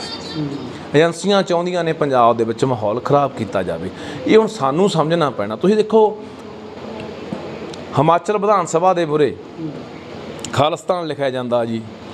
ਪੋਸਟਰ ਝੰਡੇ ਲੱਗ ਜਾਂਦੇ ਆ। ਵਿਧਾਨ ਸਭਾ ਮਾੜੀ ਮੋਟੀ ਚੀਜ਼ ਹੈ ਹਿਮਾਚਲ, ਕੋਈ ਉੱਥੇ ਸੀਸੀਟੀਵੀ ਕੈਮਰੇ ਨਹੀਂ, ਕੋਈ ਉੱਥੇ ਸਿਕਿਉਰਿਟੀ ਨਹੀਂ ਹੈ। ਜਿਹੜੇ ਚੰਡੀਗੜ੍ਹ ਦੇ ਵਿੱਚ ਆਪਾਂ ਦੇਖਦੇ ਆ ਕੋਈ ਬੰਦਾ ਦੋ ਡੱਬੇ ਸ਼ਰਾਬ ਦੇ ਨਹੀਂ ਰੱਖ ਕੇ ਲਿਆ ਸਕਦਾ, ਉਹ ਵੀ ਫੜਿਆ ਜਾਂਦਾ ਉੱਥੇ ਰਾਕਟ ਲਾਂਚਰ ਲੈ ਕੇ ਹਮਲਾ ਹੋ ਜਾਂਦਾ। ਤੇ ਇਹ ਬਹੁਤ ਵੱਡੇ ਸਵਾਲ ਨੇ। ਸਾਡੇ ਲੋਕਾਂ ਦੇ ਜਿਹਨ ਦੇ, ਜਿਹਨ 'ਚ ਸਵਾਲ ਹੈਗੇ ਨੇ ਇਹ ਕਿ ਯਾਰ ਇਹ ਹਾਲਾਤ ਕਿਉਂ ਆ? ਪੰਜਾਬ ਦੇ ਹਾਲਾਤ ਕਿਉਂ ਵਿਗਾੜਨਾ ਚਾਹੁੰਦੀਆਂ ਨੇ? ਸਭ ਤੋਂ ਵੱਡੀ ਗੱਲ ਮੈਂ ਇੱਕ ਇਹ ਕਹਿਣਾ ਚਾਹੁੰਦਾ, ਇੱਥੇ ਹੁਣ ਬਹੁਤ ਬੰਦੇ ਬਾਈ ਮਿਲਦੇ ਆ। ਮੈਂ ਇੱਥੇ ਇੱਕ ਮੈਨੂੰ ਮੁੰਡਾ ਕੈਨੇਡਾ ਤੋਂ ਆਇਆ ਮਿਲਿਆ। ਮੈਨੂੰ ਕਹਿੰਦਾ ਬਾਈ ਯਾਰ ਪੰਜਾਬ ਦੇ ਹਾਲਾਤ ਬਹੁਤ ਖਰਾਬ ਹੋ ਗਏ। ਮੈਂ ਕਿਹਾ ਤੁਸੀਂ ਪੰਜਾਬ ਦਾ ਕ੍ਰਾਈਮ ਰੇਟ ਦੇਖੋਗੇ ਜੇ ਪੂਰੇ ਭਾਰਤ ਦਾ, ਤਾਂ ਪੰਜਾਬ ਦੇ ਵਿੱਚ ਬਾਕੀ ਸੂਬਿਆਂ ਦੇ ਮੁਕਾਬਲੇ ਤਿੰਨ ਗੁਣਾ ਘੱਟ ਕ੍ਰਾਈਮ ਹੈ। ਪਰ ਦਹਿਸ਼ਤ ਖੌਫਜ਼ਦਾ ਲੋਕਾਂ ਨੂੰ ਐ ਕੀਤਾ ਜਾ ਰਿਹਾ ਕਿ ਪੰਜਾਬ ਦੇ ਵਿੱਚ ਬਹੁਤ ਹਾਲਾਤ ਮਾੜੇ ਹੋ ਗਏ, ਤਾਂ ਕਿ ਜਿਹੜੀ ਜ਼ਮਾਨੀ ਆ ਡਰਦੀ ਇੱਥੋਂ ਦਵਾ ਦਾ ਭੱਜੇ ਇਹ ਵੀ ਸਾਨੂੰ ਸਮਝਣਾ ਪੈਣਾ ਯਾਰ ਵੀ ਇਹ ਸਾਜ਼ਿਸ਼ ਹੈ ਇੱਕ। ਪੰਜਾਬ ਦੇ ਵਿੱਚ ਹਰ ਪੱਖੋਂ ਪੰਜਾਬ ਦਾ ਮਾਹੌਲ ਖਰਾਬ ਕੀਤਾ ਜਾ ਰਿਹਾ। ਪੰਜਾਬ ਦਾ ਪਾਣੀ ਮੁੱਕ ਚੱਲਿਆ, ਠੀਕ ਹੈ। ਰੌਲਾ ਬਹੁਤ ਪੈ ਰਿਹਾ। ਮੁੱਕ ਚੱਲਿਆ ਅਸੀਂ ਮੰਨਦੇ ਹਾਂ ਪਾਣੀ। ਪੰਜਾਬ ਦੀ ਜਵਾਨੀ ਨੇ ਨਸ਼ੇ ਨੇ ਮਾਰਤਾ। ਨਸ਼ਾ ਹੈਗਾ, ਇਹ 'ਚ ਕੋਈ ਦੋ ਰਾਮਾ ਨਹੀਂ। ਪਰ ਉਹ ਡਰਕ ਬਹੁਤ ਵੱਡਾ ਪੈਦਾ। ਪੰਜਾਬ ਦੇ ਵਿੱਚ ਗੈਂਗਵਾਰ ਹੋ ਰਿਹਾ, ਨੌਜਵਾਨ ਮੁੰਡੇ ਮਰ ਰਹੇ ਨੇ, ਬਹੁਤ ਵੱਡਾ ਡਰ ਪੈਦਾ ਕੀਤਾ ਜਾਂਦਾ ਤਾਂ ਕਿ ਕਿਸੇ ਵੀ ਤਰੀਕੇ ਨਾਲ ਪੰਜਾਬ ਦੇ ਵਿੱਚੋਂ ਜਵਾਨੀ ਨੂੰ ਖਦੇੜ ਦਿੱਤਾ ਜਾਵੇ, ਪੰਜਾਬ ਨੂੰ ਖਾਲੀ ਕਰ ਦਿੱਤਾ ਜਾਵੇ, ਇਹ ਵੀ ਇੱਕ ਬਹੁਤ ਵੱਡੀ ਸਾਜ਼ਿਸ਼ ਹੈ ਜਿਹੜੀ ਸਾਨੂੰ ਸਮਝਣੀ ਪੈਣੀ ਹੈ। ਇਹ ਕਰ ਕੌਣ ਰਿਹਾ? ਇਹ ਸਾਰੀਆਂ, ਹੁਣ ਤੁਹਾਨੂੰ ਕੀ ਲੱਗਦਾ ਕਿ ਸਿੱਧੂ ਮੂਸੇਵਾਲੇ ਦਾ ਕਤਲ ਕਿਸੇ ਗੈਂਗਸਟਰਾਂ ਨੇ ਕੀਤਾ? ਮੈਂ ਨਹੀਂ ਮੰਨਦਾ ਇਹ ਗੱਲ। ਇਹਦੇ ਪਿੱਛੇ ਵੀ ਏਜੰਸੀਆਂ ਦਾ ਹੱਥ ਆ। ਸਿਰਫ ਗੈਂਗਸਟਰਾਂ ਨੂੰ ਵਰਤਿਆ ਜਾ ਰਿਹਾ, ਉਹਨਾਂ ਦਾ ਨਾਮ ਵਰਤਿਆ ਜਾ ਰਿਹਾ, ਇਹ ਸਾਰੀ ਕਹਾਣੀ ਉਹਨਾਂ ਦੇ ਸਿਰ ਤੇ ਮੜੀ ਜਾ ਰਹੀ ਹੈ। ਹੁਣ ਤੁਸੀਂ ਇਹ ਦੇਖੋ, ਦਿੱਲੀ ਪੁਲਿਸ ਰਿਮਾਂਡ ਲੈ ਕੇ ਜਾਂਦੀ ਹੈ, ਸੋਚਣ ਵਾਲੀ ਗੱਲ ਹੈ। ਦਿੱਲੀ ਪੁਲਿਸ ਰਿਮਾਂਡ ਲੈ ਜਾਂਦੀ ਹੈ, ਕਤਲ ਪੰਜਾਬ 'ਚ ਹੁੰਦਾ, ਪੁਲਿਸ ਦਿੱਲੀ ਦੀ ਰਿਮਾਂਡ ਲੈ ਜਾਂਦੀ ਹੈ, ਕਿਉਂ? ਜਦੋਂ ਕਿ ਜੇ ਕਿਸੇ ਬੰਦੇ ਨੇ ਜ਼ਿੰਮੇਵਾਰੀ ਲਈ ਹੈ ਕਿ ਅਸੀਂ ਉਹਨੂੰ ਮਾਰਿਆ ਜਾਂ ਮਰਵਾਇਆ ਤੇ ਉਹਦਾ ਰਿਮਾਂਡ ਪੰਜਾਬ ਕੋਲੇ ਆਉਣਾ ਚਾਹੀਦਾ, ਪੰਜਾਬ ਪੁਲਿਸ ਲੈ ਕੇ ਆਉਂਦੀ। ਪਰ ਦਿੱਲੀ ਪੁਲਿਸ ਰਿਮਾਂਡ ਲਿਜਾ ਕੇ ਕਿਸੇ ਪੁਰਾਣੇ ਕੋ ਮੁਕੱਦਮੇ 'ਚ ਵੀ ਇਹ ਨਹੀਂ ਜੀ ਕਿਸੇ ਨੂੰ ਪਿਸਤੌਲ ਦਵਾਇਆ ਸੀ। ਉਸ ਮੁਕੱਦਮੇ 'ਚ ਰਿਮਾਂਡ ਲਿਜਾ ਕੇ ਉਹਦਾ ਅੱਜ ਰਿਮਾਂਡ ਦਾ ਹੋਰ ਵਧਾਤਾ ਜੀ ਕਹਿੰਦੇ। ਇਹਦੇ ਪੁੱਛਗਿੱਛ ਹੋ ਰਹੀ ਹੈ। ਇੱਕ ਦਿਨ ਅਖਬਾਰ 'ਚ ਖਬਰ ਆ ਜਾਂਦੀ ਹੈ ਕਿ ਉਹਨੇ ਕਬੂਲ ਕਰ ਲਿਆ ਲਾਰੈਂਸ ਨੇ ਵੀ ਅਸੀਂ ਮਰ- ਮਾਰਿਆ, ਮਰਵਾਇਆ। ਇੱਕ ਦਿਨ ਆ ਜਾਂਦਾ ਕਿ ਅਸੀਂ ਮਰਵਾਇਆ ਨਹੀਂ, ਸਾਡਾ ਕੋਈ ਹੱਥ ਨਹੀਂ। ਜਾਂ ਇਸ ਜਿਹੜੀ ਸਾਨੂੰ ਕਹਾਣੀ ਸਮਝਣੀ ਪੈਣੀ ਹੈ ਕਿ ਇਹਨੂੰ ਸਿਰਫ ਮੂਸੇ ਵਾਲੇ ਦੀ ਮੌਤ ਨੂੰ ਵੀ ਗੈਂਗਵਾਰ ਨਾਲ ਜੋੜ ਕੇ ਉਸੇ ਖਾਤੇ ਪਾਉਣ ਦੀ ਕੋਸ਼ਿਸ਼ ਹੋ ਰਹੀ ਹੈ। ਅਸਲ ਇਹ ਕਹਾਣੀ ਬਾਈ, ਇਹ ਸਾਰੀ ਖੇਡ ਏਜੰਸੀਆਂ ਦੀ ਹੈ ਕਿ ਏਜੰਸੀਆਂ ਨਹੀਂ ਚਾਹੁੰਦੀਆਂ ਕਿ ਪੰਜਾਬ ਦੀ ਜਵਾਨੀ, ਜਿਹੜਾ ਬੰਦਾ ਇੱਥੇ ਪੰਜਾਬ ਦੇ ਹੱਕਾਂ ਦੀ ਗੱਲ ਕਰੂਗਾ, ਆਪਣੀ ਆਵਾਜ਼ ਬੁਲੰਦ ਕਰੂਗਾ, ਇਹ ਉਹਨਾਂ ਨੇ ਕੋਈ ਵੀ ਬੰਦਾ ਇੱਥੇ ਬਖਸ਼ਣਾ ਨਹੀਂ ਹੈਗਾ। ਚਾਹੇ ਉਹਨੂੰ ਮਾਰਨ, ਚਾਹੇ ਡਰਾ ਕੇ ਇੱਥੋਂ ਭਜਾਉਣ, ਚਾਹੇ ਜੇਲ੍ਹ ਸਿੱਟਣ, ਹਰ ਹਰਬਾ ਹਰ ਹੀਲਾ ਇੱਥੇ ਵਰਤਿਆ ਜਾ ਸਦਾਨਾ ਜੀ, ਤੁਸੀਂ ਗੱਲ ਕੀਤੀ ਗੈਂਗਸਟਰਾਂ ਦੀ। ਤੁਸੀਂ ਵੀ ਉਸ ਦੌਰ ਦੇ ਵਿੱਚੋਂ ਗੁਜ਼ਰੇ ਹੋ। ਭਾਵੇਂ ਕਿ ਤੁਸੀਂ ਕਿਹਾ ਕਿ ਸਿਆਸਤ ਨੇ ਮੈਨੂੰ ਉਸ ਦਲਦਲ ਦੇ ਵਿੱਚ ਤੱਕਿਆ ਸੀਗਾ ਤੇ ਕਿਵੇਂ ਲੱਗਦਾ? ਕਿਉਂਕਿ ਪਹਿਲਾਂ ਇੱਕ ਗੋਲਡੀ ਗਰੁੱਪ ਵਾਈਦਾ ਉਹ ਧਮਕੀਆਂ ਦਿੰਦਾ ਕਿ ਵਿੱਕੀ ਮਿੱਡੂ ਖੇੜੇ ਨੂੰ ਇਹਨੇ ਸਿੱਧੂ ਮੂਸੇਵਾਲ ਨੇ ਮਰਵਾਇਆ ਸੀਗਾ ਤਾਂ ਅਸੀਂ ਇਹ ਕੰਮ ਕੀਤਾ। ਦੂਜੇ ਪਾਸੇ ਹੁਣ ਬੰਬੀਆ ਗਰੁੱਪ ਆ ਉਹ ਧਮਕੀਆਂ ਦੇ ਰਿਹਾ ਭੂਪੀ ਰਾਣਾ ਦਾ ਗਰੁੱਪ ਆ ਉਹ ਧਮਕੀਆਂ ਦੇ ਰਹੇ ਹੈ। ਇਹਨਾਂ ਧਮਕੀਆਂ ਨੂੰ ਗੈਂਗਸਟਰਾਂ ਨੂੰ ਕਿਵੇਂ ਭਾਈ ਮੈਨੂੰ ਦੇਖੋ ਮੈਂ ਇਸ ਗੱਲ ਤੋਂ ਮੁਨਕਰ ਨਹੀਂ ਹੈਗਾ ਕਿ ਵੀ ਗੈਂਗਸਟਰਵਾਦ ਪੰਜਾਬ 'ਚ ਹੈ ਨਹੀਂ ਜਾਂ ਗੈਂਗਸਟਰ ਹੈ ਨਹੀਂ। ਬਾਦਲਾਂ ਦੇ ਰਾਜ 'ਚ ਜਨਮ ਹੁੰਦਾ ਹੈ। ਕਾਂਗਰਸੀਆਂ ਦੀ ਪੁਸਤ ਪਨਾਹੀ ਮਿਲਦੀ ਹੈ ਉਦੋਂ ਵੱਧ ਦਾ ਕੰਮ। ਜੇਲ੍ਹਾਂ 'ਚ ਬੈਠਿਆਂ ਬੰਦਿਆਂ ਨੂੰ ਸਹੂਲਤਾਂ ਮਿਲਦੀਆਂ ਨੇ। ਇਹ 'ਚ ਕੋਈ ਦੋ ਰਾਵਾਂ ਨਹੀਂ। ਪਰ ਮੈਂ ਇੱਕ ਪੁੱਛਣਾ ਚਾਹੁੰਦਾ ਕਿ ਜਿੰਨੀਆਂ ਪੋਸਟਾਂ ਪੈ ਰਹੀਆਂ ਨੇ, ਰੋਜ਼ ਇੱਕ ਨਵੀਂ ਪੋਸਟ ਪੈਂਦੀ ਹੈ। ਕਦੇ ਫਲਾਣੇ ਨੇ ਜ਼ਿੰਮੇਵਾਰੀ, ਕਦੇ ਫਲਾਣੇ ਨੇ ਜ਼ਿੰਮੇਵਾਰੀ। ਇਹਨਾਂ ਪੋਸਟਾਂ ਤੱਕ ਹੁਣ ਤੱਕ ਪਹੁੰਚਿਆ ਗਿਆ? ਕੀ ਪੁਲਿਸ ਪ੍ਰਸ਼ਾਸਨ ਹੁਣ ਤੱਕ ਇਹਨਾਂ ਪੋਸਟਾਂ ਵਾਲਿਆਂ ਬੰਦਿਆਂ ਤੱਕ ਉਹਨਾਂ ਅਕਾਊਂਟਾਂ ਤੱਕ, ਖਾਤਿਆਂ ਤੱਕ, ਫੇਸਬੁੱਕਾਂ ਤੱਕ ਉਹਨਾਂ ਮੋਬਾਈਲਾਂ ਤੱਕ ਗਏ ਕਿ ਕਿੱਥੋਂ ਪਈ? ਕਦੇ ਤੁਸੀਂ ਦੱਸ ਦਿਓ ਮੈਨੂੰ ਗੱਲ ਜਨਤਕ ਹੋਈ ਹੋਵੇ, ਸਾਹਮਣੇ ਆਈ ਹੋਵੇ ਲੋਕਾਂ ਦੇ, ਵੀ ਇਹ ਫਲਾਣੇ ਬੰਦੇ ਨੇ ਆ ਪੋਸਟ ਪਾਈ ਸੀ, ਬੰਦਾ ਫੜ ਲਿਆ। ਜਾਂ ਜਾਂ ਜਾਂ ਇਹੀ ਦੱਸ ਦੇਣਾ ਵੀ ਕੈਨੇਡਾ ਤੋਂ ਪਈ ਹੈ ਜੀ, ਅਮਰੀਕਾ ਤੋਂ ਪਈ, ਕਿਤੋਂ ਕਿੱਥੋਂ ਪੈਂਦੀਆਂ ਨੇ ਪੋਸਟਾਂ? ਕੌਣ ਬੰਦੇ ਨੇ ਜ਼ਿੰਮੇਵਾਰੀਆਂ ਹੁਣ? ਜਾਂ ਫਿਰ ਇਹ ਮੰਨੋ ਵੀ ਜੇਲ੍ਹ 'ਚ ਬੈਠਾ ਬੰਦਾ ਜ਼ਿੰਮੇਵਾਰੀ ਲੈ ਰਿਹਾ। ਇੱਕ ਵਾਰ ਤੁਸੀਂ ਕਹਿੰਦੇ ਜੇਲ੍ਹਾਂ 'ਚ ਫੋਨ ਬਿਲਕੁਲ ਖਤਮ ਕਰਤੇ, ਜੇਲ੍ਹਾਂ ਦਾ ਫੋਨ ਹੀ ਹੈ ਨਹੀਂ। ਦੂਜੇ ਪਾਸੇ ਉਹ ਬੰਦੇ ਫੜੇ ਨਹੀਂ ਤਾਂ ਹਾਲ ਤੱਕ ਗਏ। ਤਾਂ ਇਹ ਬਹੁਤ ਵੱਡਾ ਬਾਈ ਸਵਾਲ ਹੈ। ਜਿਹੜਾ ਸਾਡੇ ਲੋਕਾਂ ਨੂੰ ਸਮਝਣਾ ਪੈਣਾ ਕਿ ਕਿਵੇਂ ਸਾਡੇ ਨਾਲ ਗੇਮ ਬਹੁਤ ਵੱਡੀ ਸਾਜ਼ਿਸ਼ ਹੈ ਜਿਹੜੀ ਉਹ ਖੇਡੀ ਜਾ ਰਹੀ ਹੈ। ਤੁਸੀਂ ਫਰੀਦਕੋਟ ਜੇਲ੍ਹ ਦੇ ਵਿੱਚ ਰਹੇ ਆ ਤੁਸੀਂ ਸਾਰਾ ਜੇਲ੍ਹ ਦਾ ਮਾਮਲਾ ਮੀਡੀਆ ਸਾਹਮਣੇ ਲਿਆਂਦਾ ਸੀ ਇੱਕ ਬਿਲਕੁਲ ਮੈਂ ਬੜਾ ਬੜੇ ਹਾਲਾਤ ਮਾੜੇ ਸੀ ਉਹਨਾਂ ਸਮੇਂ 'ਚ ਹੁਣ ਤਾਂ ਮੈਨੂੰ ਪਤਾ ਨਹੀਂ। ਇਹ ਗੱਲ ਪ- 16 17 ਦੀ ਗੱਲ ਹੈ। ਮੈਂ ਦੱਸਿਆ ਸੀ ਕਿਵੇਂ ਚੱਟਾ ਨਸ਼ਾ ਜਿਹੜਾ ਜੇਲ੍ਹਾਂ ਦੇ ਵਿੱਚ ਆਮ ਹੈ ਸਭ ਮਾਹੌਲ ਅੱਜ ਵੀ ਹਾਲਾਤ ਹੋ ਸਕਦਾ ਉਹ ਜੇ ਹੁਣ ਮੈਨੂੰ ਹੁਣ ਨਹੀਂ ਪਤਾ ਹੈਗਾ। ਪਰ ਬਾਈ ਇਹਦੇ ਜ਼ਿੰਮੇਵਾਰ ਅਖੀਰ ਤੇ ਕੌਣ ਹੈ? ਜ਼ਿੰਮੇਵਾਰ ਤਾਂ ਸਿਆਸਤੀ ਹੁੰਦੀ ਹੈ ਸਿਆਸਤਦਾਨ ਹੀ ਹੁੰਦੇ ਆ। ਉਹਨਾਂ ਤੋਂ ਬਿਨਾ ਇੱਥੇ ਪੱਤਾ ਨਹੀਂ ਹਿੱਲ ਸਕਦਾ, ਪੱਤਾ ਨਹੀਂ ਜੁੜ ਸਕਦਾ। ਸੋ ਇਸ ਕਰਕੇ ਮੈਂ ਇਹੀ ਕਹਿਣਾ ਚਾਹੁੰਦਾ ਕਿ ਸਾਡੀ ਜ਼ਬਾਨੀ ਨੂੰ ਸਮਝਣ ਦੀ ਲੋੜ ਆ ਬਾਈ। ਦੇਖੋ ਬਾਈ, ਅਸੀਂ ਹਰ ਤਰੀਕੇ ਨਾਲ ਭਰਾ ਦੇ ਨਾਲ ਖੜੇ ਆ, ਠੀਕ ਆ? ਇਹਦੀ ਕਲਮ ਕਰਕੇ ਖੜੇ ਆ ਬਾਈ ਦੀ ਸਿੱਧੀ ਜੀ ਗੱਲ ਤਾਂ ਇਹ ਹੈ, ਇਸ ਕਰਕੇ ਨਹੀਂ ਗਾਇਕ ਹੋਰ ਵੀ ਬਥੇਰੇ ਨੇ ਬਾਈ, ਹਨਾ? ਪਰ ਮੈਂ ਪੰਜਾਬ ਦੇ ਸਾਰੇ ਗਾਇਕਾਂ ਨੂੰ ਇੱਕ ਅਪੀਲ ਕਰਨਾ ਚਾਹੁੰਦਾ ਸੋਡੇ ਰਾਹੀਂ। ਕਿ ਅੱਜ ਤੁਹਾਡੇ ਭਰਾ ਨਾਲ ਇੱਕ ਨਾਲ ਹੋਈ ਆ ਕੱਲ ਨੂੰ ਤੁਹਾਡੇ ਨਾਲ ਕਿਸੇ ਨਾਲ ਹੋ ਸਕਦੀ ਆ। ਅੱਜ ਇੱਕ ਸਿੱਧੂ ਮੂਸੇ ਵਾਲਾ ਮਰਿਆ ਕੱਲ ਨੂੰ ਤੁਹਾਡੀ ਵੀ ਕਿਸੇ ਦੀ ਵਾਰੀ ਆ ਸਕਦੀ ਆ। ਇੰਨੇ ਇੰਨੇ ਵੀ ਖੱਸੀ ਨਾ ਬਣੋ, ਸਿੱਧੀ ਜੀ ਗੱਲ ਤਾਂ ਮੈਂ ਕਹਿਣਾ, ਇੰਨੇ ਨਕੰਮੇ ਨਾ ਨਖੱਦ ਨਾ ਬਣੋ ਕਿ ਬੋਲੋ ਹੀ ਨਾ ਯਾਰ, ਆਵਾਜ਼ ਹੀ ਨਾ ਬੁਲੰਦ ਕਰੋ। ਇਹ ਰੋਜ਼ ਵਾਪਰ ਰਿਹਾ। ਕਦੇ ਕਿਸੇ ਗਾਇਕ ਨੂੰ ਧਮਕੀਆਂ, ਪੈਸੇ ਮੰਗੇ ਜਾਂਦੇ ਆ, ਕਿਸੇ ਨੂੰ ਮਾਰ ਦਿੱਤਾ, ਨਾ ਕਿਸੇ ਨੂੰ ਕੁੱਟ ਦਿੱਤਾ ਜਾਂਦਾ, ਇਹ ਪੁਲਿਸ ਵਾਲੀ ਘਟਨਾ ਵਾਪਰੀ ਆ। ਤਾਂ ਬੋਲੋ ਬਾਈ, ਕਿਉਂ ਨਹੀਂ ਬੋਲਦੇ? ਤੁਸੀਂ ਤੁਸੀਂ ਵੀ ਸਾਰਾ ਦੇਖਿਆ, ਸਿੱਧੂ ਮੂਸੇਵਾਲੇ ਦੀ ਮੌਤ ਦੇ ਉੱਤੇ ਕੌਣ ਬੋਲਿਆ ਬਾਈ? ਬਹੁਤ ਥੋੜੇ ਬੋਲੇ ਹੋਣੇ ਆ। ਚੰਦ ਬੰਦੇ ਬੋਲੇ ਹੋਣੇ ਆ। ਸਾਰਿਆਂ ਨੇ ਬਸ ਹੁਟਮਾ ਪਾ ਪਾ ਕੇ ਪਰਮਾਤਮਾ ਭਾਣਾ ਮੰਨਣ ਦਾ ਬਲ ਬਖਸ਼ੇ। ਅਲਵਿਦਾ ਛੋਟੇ ਵੀਰ, ਇਸ ਤਰ੍ਹਾਂ ਦੀਆਂ ਪੋਸਟਾਂ ਪਾ ਕੇ ਦੁੱਖ ਸਾਂਝਾ ਕਰ ਲਿਆ, ਜਾਂ ਉੱਥੇ ਸੰਸਕਾਰ ਤੇ ਆ ਗਏ ਹੋਣੇ ਆ। ਅਸਲ ਤਾਂ ਸਰਕਾਰ ਨੂੰ ਜਾਂ ਹਕੂਮਤ ਨੂੰ ਕਿਹਨੇ ਬੰਗਾਰਿਆ ਜਾਂ ਉਹਨਾਂ ਨੂੰ ਕਿਹਨੇ ਕਿਹਾ ਵੀ ਜ਼ਿੰਮੇਵਾਰ ਤੁਸੀਂ ਹੈ ਜਾਂ ਇੱਥੋਂ ਦੇ ਪ੍ਰਸ਼ਾਸਨ ਨੂੰ ਕਿਹਾ, ਜਾਂ ਇੱਥੋਂ ਦੀ ਇੰਟੈਲੀਜੈਂਸੀ ਨੂੰ ਜ਼ਿੰਮੇਵਾਰ ਠਹਿਰਾਇਆ? ਕੋਈ ਨਹੀਂ ਬੋਲਣ ਨੂੰ ਤਿਆਰ ਬਾਈ। ਗੀਤਾਂ 'ਚ ਵੱਡੀਆਂ ਵੱਡੀਆਂ ਵੜਕਾਂ ਮਾਰਦੀਆਂ ਵੱਡੀਆਂ ਵੱਡੀਆਂ ਗੱਲਾਂ ਕਰਦੇ ਆ ਇਹੋ ਜਿਹੇ ਤੁਸੀਂ ਆਪਣੇ ਭਰਾਵਾਂ ਦੇ ਨਾਲ ਵੀ ਨਹੀਂ ਖੜ ਸਕਦੇ। ਮੈਂ ਇੰਨੀ ਗੱਲ ਕਹਿਣਾ ਚਾਹੁੰਦਾ ਯਾਰ ਵੀ ਸਾਨੂੰ ਅੱਜ ਫਰਜ਼ ਬਣਦਾ ਤੁਹਾਡੇ ਸਾਰੇ ਕਲਾਕਾਰ ਭਰਾਵਾਂ ਨੂੰ ਜਿੰਨੇ ਗੀਤਕਾਰ ਆ, ਜਿੰਨੇ ਗਾਉਣ ਵਾਲੇ ਆ, ਵੀ ਇਹ ਭਰਾ ਨਾਲ ਖੜਨਾ ਚਾਹੀਦਾ। ਇੱਕ ਲਾਸਟ ਸਵਾਲ ਹੈ, ਲੱਖਾ, ਤੁਸੀਂ ਜਦੋਂ ਸਿੱਧੂ ਮੂਸੇਵਾਲੇ ਦੀ ਮੌਤ ਹੁੰਦੀ ਹੈ ਜਿਹਦੇ ਉਹਦਾ ਸੰਸਕਾਰ ਹੋਣਾ ਸੀ, ਉਸ ਤੋਂ ਇੱਕ ਦਿਨ ਪਹਿਲਾਂ ਤੁਸੀਂ ਉੱਥੇ ਪਹੁੰਚੇ ਹੈ। ਇੱਕ ਤੁਸੀਂ ਗੱਲ ਕਹੀ ਸੀਗੀ, ਯਾਰ, ਮੈਂ ਅੱਗੇ ਨਹੀਂ ਕਿਤੇ ਕਿਹਾ। ਹੁਣ ਮੈਂ ਕਹਿੰਦਾ, ਇਹ ਜਿਹੜੇ ਗੈਂਗਸਟਰ ਆ ਜਾਂ ਗਲਤ ਕੰਮ ਕਰਦੇ ਆ, ਉਹਨਾਂ ਨੂੰ ਮਾਰ ਦੇਣਾ ਚਾਹੀਦਾ ਇਹ ਤਾਂ ਨਹੀਂ ਕਿਤੇ ਜਿਹੜੀ ਆਡੀਓ ਦੇ ਵਿੱਚ ਤੁਹਾਡਾ ਨਾਮ ਲਿਖਿਆ, ਉਸ ਨਾਲ ਜੋੜਿਆ ਜਾਵੇ ਦੇਖੋ ਬਾਈ, ਮੈਂ ਤੁਹਾਨੂੰ ਫੇਰ ਦੱਸਦਾ ਵੀ ਜਿੰਨੇ ਪ੍ਰਮਾਤਮਾ ਨੇ ਸਾਹ ਦਿੱਤੇ, ਆਪਾਂ ਉਹਨੇ ਹੀ ਲੈਣੇ ਆ, ਠੀਕ ਆ ਨਾ?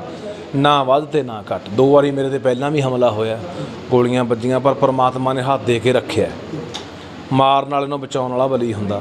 ਮੈਂ ਨਾ ਪਹਿਲਾਂ ਕਿਤੇ ਮੈਂ ਬੇਬਾਕ ਜਿਹਾ ਇਨਸਾਨ ਆ ਪਰ ਜਿਹੜੀ ਗੱਲ ਮੇਰੇ ਦਿਲ ਤੇ ਉਹ ਮੇਰੀ ਜ਼ੁਬਾਨ ਤੇ ਹੁੰਦੀ ਹੈ। ਮੈਂ ਇਸੇ ਕਰਕੇ ਗੱਲ ਕਹੀ ਸੀ, ਕਿਉਂਕਿ ਮੈਂ ਉਸ ਥਾਂ ਤੇ ਖੜਾ ਸੀ ਬਾਈ। ਇੰਨਾ ਦੁੱਖ ਸੀਗਾ ਕਿ ਉਸ ਮਾਂ ਦੀਆਂ ਅੱਖਾਂ 'ਚ ਅੱਖਾਂ ਮੈਥੋਂ ਪਈਆਂ ਨਹੀਂ ਤੇ ਉਸ ਬਾਪ ਦੇ ਅੱਗੇ ਮੈਥੋਂ ਹੋਇਆ ਨਹੀਂ ਗਿਆ ਕਿ ਜਿਨ੍ਹਾਂ ਦਾ ਸੰਸਾਰ ਜੜ ਗਿਆ ਸੀ। ਇੱਕ ਹੋਣਹਾਰ ਪੁੱਤ ਜਿਨ੍ਹਾਂ ਦਾ ਚਲਿਆ ਗਿਆ, ਉਹ ਉਹਨਾਂ ਦਾ ਨਹੀਂ ਸੀ, ਉਹ ਪੂਰੇ ਪੰਜਾਬੀਆਂ ਦਾ ਸੀ ਬਾਈ। ਠੀਕ ਹੈ, ਮੈਂ ਇਹ ਨਹੀਂ ਕਿਹਾ ਬਹੁਤ ਗੀਤਾਂ ਦੇ ਉੱਤੇ ਮੇਰੇ ਉਹਦੇ ਨਾਲ ਵਖਰੇਵੇਂ ਹੋਣਗੇ, ਮਤਭੇਦ ਹੋਣਗੇ ਮੇਰੇ ਵਿਚਾਰ। ਉਹਦੇ ਨਾਲ ਨਹੀਂ ਮਿਲਦੇ ਹੋਣੇ ਬਹੁਤ ਗੀਤਾਂ ਦੇ ਉੱਤੇ ਅਸੀਂ ਇੱਕ ਵਾਰੀ ਕਿਸੇ ਗੀਤ ਨੂੰ ਲੈ ਕੇ ਮਾਈ ਭਾਗੋ ਦਾ ਜ਼ਿਕਰ ਹੋਇਆ ਸੀ, ਉਹਦੇ ਬਾਰ ਅੱਗੇ ਵੀ ਚਲੇ ਗਏ ਸੀ। ਪਰ ਉੱਥੇ ਜਦੋਂ ਜੋ ਮੈਂ ਉੱਥੇ ਦੇਖ ਰਿਹਾ ਸੀ ਕਿ ਕਿਵੇਂ ਲੋਕ ਯਾਰ ਧਾਹਾਂ ਮਾਰਦੇ ਸੀ, ਕਿਵੇਂ ਉਹਦੀ ਮਾਂ ਵਿਚਾਰੇ ਦੀ ਜਦੋਂ ਉਹਨੂੰ ਪਤਾ ਲੱਗਿਆ ਸਵੇਰੇ ਵੀ ਘਰੇ ਤਾਂ ਪੱਲੀਆਂ ਵਿਛੀਆਂ ਪਈਆਂ, ਤੇ ਉਹਨੇ ਦਾਤੜੀ ਪਿੱਟੀ ਤੇ ਇੱਕੋ ਹੀ ਗੱਲ ਕਹੀ ਕਿ ਆਹ ਮਹਿਲ, ਆਹ ਕੋਠੀਆਂ, ਆਹ ਹਵੇਲੀਆਂ ਕਿਹਦੇ ਲਈ ਛੱਡ ਗਿਆ? ਢਾਹ ਦਿਓ ਸਾਡੇ ਕਿਸੇ ਕੰਮ ਨਹੀਂ। ਉਦੋਂ ਬਾਈ ਬੰਦਾ ਕੀ ਸੋਚਦਾ? ਉਦੋਂ ਫਿਰ ਦਿਲ ਚੋਂ ਹਰ ਬੰਦਾ ਜਿਹੜਾ ਸੱਚਾਈ ਵਾਲਾ, ਉਹਦੇ ਇਹੀ ਹੂਕ ਨਿਕਲੂ ਵੀ ਯਾਰ ਉਹਨਾਂ ਬੰਦਿਆਂ ਨੂੰ ਵੀ ਉਹੀ ਸਜ਼ਾ ਦੇਣੀ ਮਿਲਣੀ ਚਾਹੀਦੀ, ਉਹ ਵੀ ਐਂ ਮਰਨੇ ਚਾਹੀਦੇ ਜਿਵੇਂ ਇਹ ਬੰਦਾ ਮੁੰਡਾ ਨੌਜਵਾਨ ਮਾਰਿਆ ਗਿਆ। ਬਹੁਤ ਬਹੁਤ ਧੰਨਵਾਦ। ਤਾਂ ਇਹ ਸਨ ਲੱਖਾ ਸਦਾਨਾ ਤੇ ਫਰੀਦਕੋਟ ਦੇ ਵਿੱਚ ਪਹੁੰਚਿਆ ਇੱਕ ਕਲਾਕਾਰ ਨੇ, ਸੰਧੂ ਸਰਜੀਤ, ਉਹਦੇ ਵੱਲੋਂ ਆਰੋਪ ਲਾਏ ਗਏ ਹੈ ਪੁਲਿਸ ਦੇ ਕਿ ਪੁਲਿਸ ਨੇ ਉਸ ਦੇ ਨਾਲ ਕੁੱਟਮਾਰ ਕੀਤੀ ਹੈ ਤੇ ਹੁਣ ਜਿਹੜਾ ਉਹ ਮੈਡੀਕਲ ਦੇ ਵਿੱਚ ਐਡਮਿਟ ਹੈ ਤੇ ਇੱਥੇ ਦਾਖਲ ਹੈ ਉਸ ਦਾ ਇਲਾਜ ਚੱਲ ਰਿਹਾ ਹੈ। ਤਾਂ ਉਸ ਦਾ ਪਤਾ ਲੈਣ ਲਈ ਅੱਜ ਪਹੁੰਚੇ ਸੀ ਉਹਨੂੰ ਲੱਖਾ ਸਦਾਨਾ ਨੇ ਦੱਸਿਆ ਕਿ ਕਿਸ ਤਰੀਕੇ ਦੇ ਨਾਲ ਉਹਦੇ ਰਿਲੇਸ਼ਨ ਨੇ ਇਸ ਅ, ਜਿਹੜੇ ਕਲਾਕਾਰ ਦੇ ਨਾਲ ਤੇ ਨਾਲ तमाम ਹੀ ਉਹਨਾਂ ਨੇ ਸਰਕਾਰਾਂ ਤੇ ਸਵਾਲ ਉਠਾਏ ਹੈ ਗੈਂਗਸਟਰ ਜਿਹੜਾ ਕਲਚਰ ਹੈ ਉਸ ਤੇ ਸਵਾਲ ਉਠਾਏ ਹੈ ਵੱਡੀ ਗੱਲ ਉਹਨਾਂ ਨੇ ਕਿਹਾ ਹੈ ਕਿ ਸਿੱਧੂ ਮੂਸੇਵਾਲੀ ਦੀ ਜਿਹੜੀ ਮੌਤ ਹੈ ਉਹਨੂੰ ਜਿਹੜਾ ਗੈਂਗਸਟਰ ਦੇ ਨਾਲ ਜਿਹੜਾ ਜੋੜਿਆ ਜਾ ਰਿਹਾ ਪਰ ਮੈਂ ਉਸ ਨੂੰ ਨਹੀਂ ਮੰਨਦਾਗਾ ਤਾਂ ਹੁਣ ਆਉਣ ਵਾਲੇ ਸਮੇਂ ਦੇ ਵਿੱਚ ਪੰਜਾਬ ਦਾ ਮਾਹੌਲ ਕਿਸ ਤਰੀਕੇ ਦਾ ਰਹਿਣ ਵਾਲਾ ਹੈ ਇਹ ਦੇਖਣ ਵਾਲੀ ਗੱਲ ਹੋਵੇਗੀ ਗੁਰਜੀਤ ਸਿੰਘ ਰਮਾਣਾ D5 ਚੈਨਲ ਪੰਜਾਬੀ ਫਰੀਦਕੋਟ ਹੋਏਗੀ ਕਿਸਾਨਾਂ ਦੀ ਗੱਲ। ਨਵੀਂ ਖੇਤੀ, ਮਸ਼ੀਨਾਂ, ਬੀਜਾਂ ਤੇ ਬਾਗਾਂ ਦੀ ਗੱਲ। ਲੈ ਕੇ ਚੱਲਾਂਗੇ ਤੁਹਾਨੂੰ ਰੰਗਲੇ ਪੰਜਾਬ ਦੇ ਖੇਤਾਂ ਵੱਲ। ਦੇਖਣਾ ਨਾ ਭੁੱਲਣਾ ਸਾਡਾ ਖਾਸ programme farming with Amarjeet Waraich. ਸੋਮਵਾਰ ਤੋਂ ਸ਼ੁੱਕਰਵਾਰ ਸ਼ਾਮ 6 ਵਜੇ D5 ਚੈਨਲ ਪੰਜਾਬੀ ਤੇ। ਕੀ ਹੁੰਦੀ ਹੈ ਜਮਾਬੰਦੀ? ਕਿਵੇਂ ਬਣਦੀ ਹੈ ਵਸੀਅਤ? ਜ਼ਮੀਨ ਜਾਇਦਾਦ ਦੇ ਹਰ ਮਸਲੇ ਤੇ ਕਰਾਂਗੇ ਚਰਚਾ। ਦੇਖਣਾ ਨਾ ਭੁੱਲਣਾ ਸਾਡਾ ਖਾਸ programme naibtehsildar.com E5 channel Punjabi, ਹੁਣੇ ਸਬਸਕ੍ਰਾਈਬ ਕਰੋ ਬੈਲ ਆਈਕਨ ਤੇ ਕਲਿੱਕ ਕਰੋ।